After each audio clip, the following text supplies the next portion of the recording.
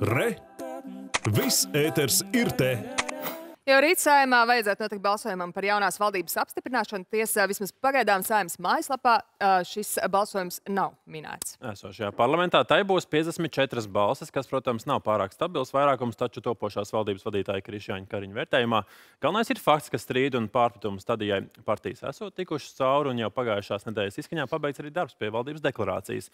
Tajā ietvert aptuveni 300 mērķi, uzdevumi vai darbību punkti dažādās jomās. Bet kā noritēs jaunās valdības sadarbība ar likumdevēju? Par to šorīt saruna ar saimnes priekšsēdētāju Edvardu Smiltēnu. Labrīt! Labrīt! Teicināt, Par labrīt. šī jautājuma iekļaušanu darba kārtībā rītā cikos tad būs vai būs? 9.00 mēs parakstīsim svinīgi arī šo te deklarāciju. Un uh, ne tikai tur ir fiskālās disciplīnas līgums, kas tiek parakstīts, un koalīcijas līgums. Un pūkstens desmitos es sasaucu arī uh, prezidijas sēdi un izsludinu sēdi uz pūkstens 10.30. Tātad 10.30 sāksies valdības apstiprināšanas process. Liels debats iespējams. Gara diena būs, uh, bet uh, jau pret pēcpusdienu, vakar pusi, to jau tikai deputāti lems. Caur debatēm būs arī jaunā valdība. Nu, ko sakosim, protams, līdzi. Ja mēs runājam konkrētāk par apvienotā saraksta izvirzītiem ministriem, konkrēti veselības ministra Līga Meņģelsona, zemkopības ministrs Digis Šmits, iekšlietu ministrs Māris Kučinskis un vidas aizsardzības un reģionālās attīstības ministrs Māris Sprindžuks. No katrām šīm četrām nozarēm vienu būtiskāko darbu, kas ir jāpaveic katrai ministrijai. Es domāju, vissmagākā situācija šobrīd ir veselībā. Ministrei pat neuzsākot darbu, jau nāks šobrīd tikties ar nozares pārstāvjiem. Mēs zinām, onkologu um, problēmu onkoloģijas centrā, um, veselības aprūpas finansēšana. Tur ir virkni problēmas, pie kurām jāstrādā. Es tiešām domāju, ka, protams, mūsu izvēle varbūt nedaudz garāka bija, bet mēs izvēlējāmies Līgu Meņģelsonu kā cilvēku, kas stāv mazliet atstatus no veselības nozares. Tātad cilvēks, kuram ir tiešām iespēja paraudzīties kopskatā, kontekstā arī ar pārējiem procesiem, kas notiek, un izanalizēt arī to, kā tiek tērēta nauda veselības sistēmā. Līdz ar to tiešām šis būs ļoti atbildīgs postenis, un, un mēs eh, atbalstīsim līgu visā. Zemkopība. Uh, Zemkopībā, protams, ka tas ir jautājums par mūsu resursu veiksmīgu uh, plānotu izmantošanu. Ja, tātad mums ir 2 miljoni hektāri lauksaimniecības zemes, kas ir mērķis, kas būtu jāizmanto. Mums ir 3,2 miljoni hektāri meži. Mums ir zivsaimniecības uh, nozare, kas ir, kur ir pārtiks ražošana. Ja. Tātad šīs ir jomas, kas ir zemkopības ministra pārziņā. Tas ir būtisks resurs mūsu ekonomikas kāpināšanai. Iekšlietu Tātad ministrija? produktivitāte. Iekšlietu ministrija vēl viena tāda ārkārtīgi liela problēma ministrija, kur Mārcis Kučīnskis, kā bijušais premjerministrs, es teiktu, smagsvars tiek sūtīts ie- ie- iekšli- iekšlietās. Ā, Tur jārisina gan atalgojuma jautājums iekšlietu sistēmas darbiniekiem, tā, tā skaitā materiāla tehniskais nodrošinājums, telpas un, un, un, un šīs lietas, lai tiešām mūsu policija un dienesti strādātu efektīvi un mm -hmm. arī uzlabotu savu, savu darbības rādītājus. Un varam, protams, ir realizēta reģionālā reforma, ja tā to var nosaukt. Pirmkārt, jāveic ir kļūdu labojums. Nu, mēs citādāk to saucam deklarācijā. Eh, Tie būtu papildinājumi vai uzlabojumi šajā reformā. Ir vēl likumā noteikti tātad lēmumi, kas jāpieņem šobrīd saistībā ar varakļāniem, saistībā ar Garkalni, kā, kā nu, tur izšķiršanās vēl viena paliek. Tā tad uh, ir virkni lietu šajā, bet galvenais uzdevums šai ministrijai nodrošināt veiksmīgu reģionu attīstību. Ir vēl viena būtiska lieta pie varam klāt runājot. Mēs beidzot centralizējam digitālo transformāciju vai digitālos pakalpojumus vienā ministrijā. Un tas ir izšķiroši svarīgi. Es biju Igaunijas vizītē un biju arī šajā strateģiskās, strateģiskajā Na- NATO centrā faktiski. Un, un, un darbs ar kiberdrošību, IT pakalpojumi, tas Igaunija, protams, ir definējis nedaudz, uh, nedaudz veiksmīgāk kā mūsu šajās jomās. Tas ir būtisks konkurētspējas priekšnoteikums. Digitalizācija nu patiešām ir tāds uh, sarežģīts temats. Uh, sliktākais, no piemēram, noteikti ir e-veselība. Tas tik smagnēji un, un uh, ar lielajiem tādiem iekritieniem tas viss ir virzījies uz priekšu un joprojām neiet tā, kā vajag. Bet skaidrs, ka viena no problēmām, ko uzsver tieši IT nozares cilvēki, ka valstī, kur veidojas šīs digitalizācijas politiku, pirmkārt, tur ir bijuši cilvēki, kuri nav īsti izpratuši to lietu, pietrūcis profesionālitātes, pietrūcis redzējuma. Un skaidrs, ka tas ir jautājums par komandu, kas ar to strādā. Ā, Vai šobrīd ir skaidrs, kas būs tie cilvēki vidas aizsardzības un reģionālās attīstības ministrijā, vai tie būs tie paši, nu, kur šobrīd teiksim, tā pa grāviem līdz šim ir gājis, vai tomēr tā būs jauna komanda, kas tieši ar digitalizāciju nodarbosies, kur būs profesionāli?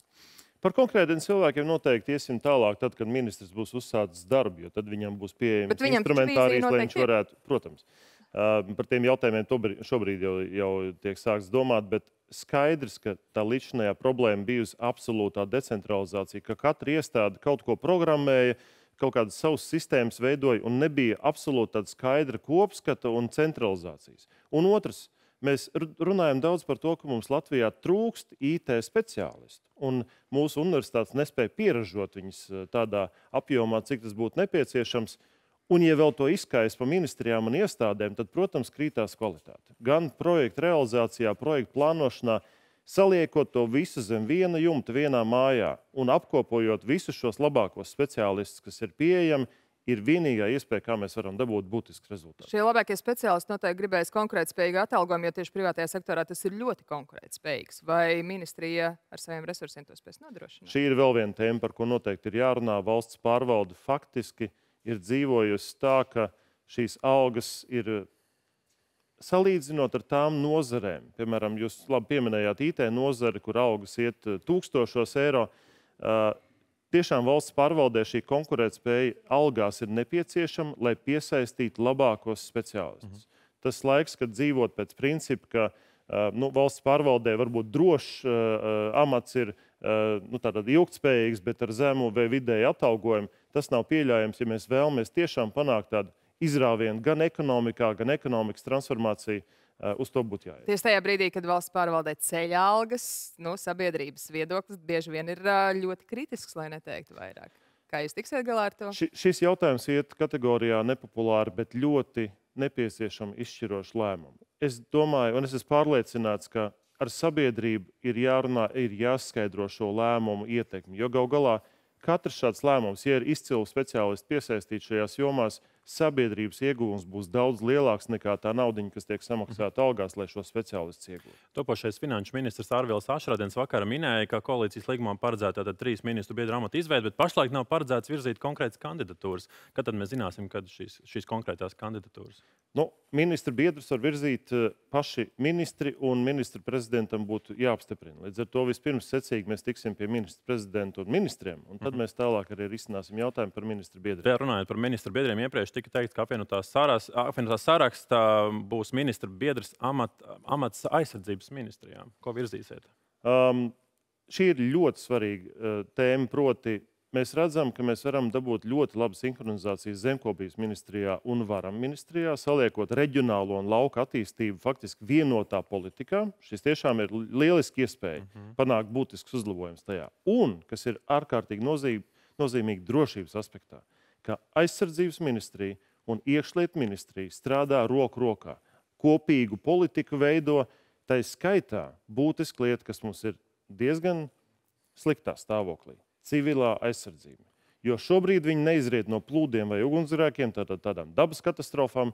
Civilās aizsardzības bāzē ir jābūt bāzētai uz kara apdraudējumiem vai, vai kara izraisīto seku Bet apdraudējumiem. kandidatūra ir Un tas, nozīmē, un tas nozīmē, ka šī sasaiste ar ministra biedra aizsardzības ministrijā paredzēs arī šo sasaisti Būs ar, biedrs? ar izpētes ministriju. Nu, visticamāk, katra, Kā- Cik katra, jums katra koalīcijas partija ir apņēmusies virzīt, ā, vai, vai teiksim, šīs tiesības paredzētas ir uz vienu ministra biedru. Un tālāk, kad tiks apstiprināts ministrs kabinets, arī tad tālāk nākamajā Bet tad etapā. apvienotais saraksts virzīs uz ārlietu ā, ā, aizsardzības ministriju. Tāds plāns mums ir. Jā. Un tas ir stingrs plāns, jūs to noteikti darīsiet. Nu, visticamāk. Jā. Un kandidāts? Šobrīd, šobrīd, šobrīd es nevaru nosaukt kandidātu, par to um, būs vēl galīgie lēmumi pēc valdības apstiprināšanas. Tad ir vairāk kandidāti. Pēc valdības apstiprināšanas. Labi. Iesim secīgi, neskriesim pa priekšu notikumiem, apstiprināsim valdību un tad runāsim par pārējiem. Bet tas, kas ir skaidrs, ka nākamais gads tiks saukts, sāks ar tā te, dēvēto tehnisko budžetu. Kādu laiku rāmu jūs iezīmētu tā izskatīšanai, saimām pieņemšanai? Skaidrs, ka budžeta pieņemšana eh, tai vajadzēs vismaz kādus kopumā divus līdz trīs mēnešus. Un šis budžeta grafiks man ir zināms, eh, tad, tad tā, secīgi mēs iesim cauri visiem posmiem. Šis budžeta pieņemšanas process ir ļoti svarīgs. Un, uh, budžeta pieņemšana saimā varētu uh, rezultēties martā. Tas nozīmē, ka mums pāris mēnešus nāksies strādāt kontekstā ar tehnisko budžetu, vai nu, tā teikt, vienu divpadsmito daļu, bet jāņem vērā būtiskas lietas. Saimā mēs intensīvi esam uzsākuši pilnā mērā darbu, un uh, jau ir pieņemti vairāk normatīvu akti, kas paredz uh, finansiālus izdevumus. Piemēram, atbalsts Ukraiņas bēgļiem, tad mēs viņu pagarinājām līdz 1. jūlijam. Viņa termiņš bija 1. janvāris. Protams, ka mēs turpinām šo atbalstu sniegt Ukraiņai. Ne tikai bēgļiem, vispār arī Ukraiņas civilizētājiem un, un, un Ukraiņas tautai. Tas nozīmē, to, ka tie būs papildus izdevumi, kas ir jārēķina Nu, iekšā arī skaidrs, šajā ka sadaļā. Sociālā, sociālā pakalpojuma tad aprūpētājiem atbalsts. Un tā skaitā kompensēt šo te eh, enerģijas eh, cenu kāpumu. Tad šeit arī mēs esam pieņēmuši likumu, lai cilvēkiem tiešām būtu iespējams šo visu Jā, kompensēt. izaicinājumu būs daudz. Vēl pavisam īsi sarunas noslēgumā tieši par pašu saimnes darbu. Ceturtdien pie saimnes notiks pikets. Tā dalībnieki aicinās iestāties par visām Latvijas ģimenēm kustības. Dzīves biedri pārstāvji cer, ka iespējams ā, saima lemt par civilās savienības likumprojektu pieņemšanu tālāku virzību. Šajā 14. saimā tiks iekļauts darba kārtībā. Satversmes tiesa ir teikusi, ka ir jārisina šis jautājums. 13. saimta to nedarīja. Bet viņa, bet viņa nav teikusi, ka šis jautājums jārisina spriedums. Ir ļoti precīzi jāizlasa, un, un, un tad var redzēt, ka viņa nav teikusi, ka šis jautājums jārisina ar civilās savienības likumu. Tikpat labi tie var būt vairāk normatīvi akti, kas to risina. Šobrīd saima ir vairāk tomēr konservatīvi, politiski virzīta, un, un tas nozīmē, ka es arī kā saimnes priekšsēdētājs saku, jāpilda ir satversmes tiesas spriedumi, bet kā pildīt, tas ir saimnes ziņā, arī nosakot, ja tie būs vairāk normatīvi akti, tad arī šādā veidā to var darīt. Smiltēna kungs, vai jūs zinat, cik daudz ā, Latvijā pāru vīriešu un sievieti, kur, sievietes, kuriem ir bērni, dzīvo civillaulībā? Noteikti te ir tūkstoši. Protams, Ļoti daudz tūkstoši. protams. Vai viņi ir pelnījuši līdzvērtīgus, līdzvērtīgas tiesības kā laulāts pāris? Redziet, um, šobrīd mēģina šo civilās savienības likumu pasniegt kā risinājumu tiem pāriem, kas nedzīvo reģistrētās attiecībās. Bet tas nebūtu risinājums. Bet, bet nu, tad, kad es iepazinos ar savu topošo tolēku vēl sievu, tad es nolēmu, ka es ar šo sievieti gribu pavadīt kopā mūžu, un es arī viņu bildināju un aprecēju. Tas ir vīriešu pienākums. Ja?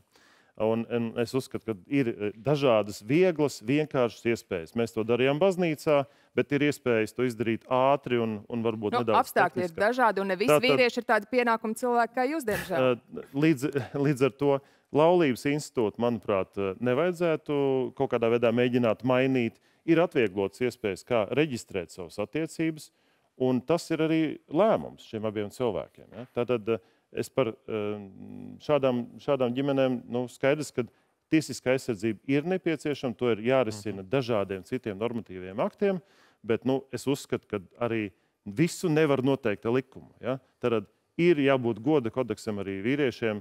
Un, uh, un, un Goda kodeks arī nevar noteikt ar likumu, diemžēl. Bet no jūsu teiktā sanāk, ka civil laulībā dzīvojoši pāri, uh, nu, viņiem nesanāk tas pats, kas laulībā dzīvojošiem pāriem. Līdz ar to viņi tiek diskriminēti. Nu, un mēs viņus piespiedīsim Viņu ar likumu. Domāju. bērni tiek Tā tas- diskriminēti. Tā tas nenotiks diez vai. Atgriežoties, satversmes tiesas spriedumi jāpilda, un mēs viņus Satversmes jo- tiesas Jā. spriedums jāpild. Pilnīgi Protams, arī noteikti. šis arī iet, ietver vienzimumu pāri jautājumu, jo 28 tiesas vienzimumu pāri jau ir atzinuši 28 ģimenes par, par, par ģimeni. Un Tagad, ko tas liecina par mūsu valsti? Tas arī ir jautājums noteikti. Ja?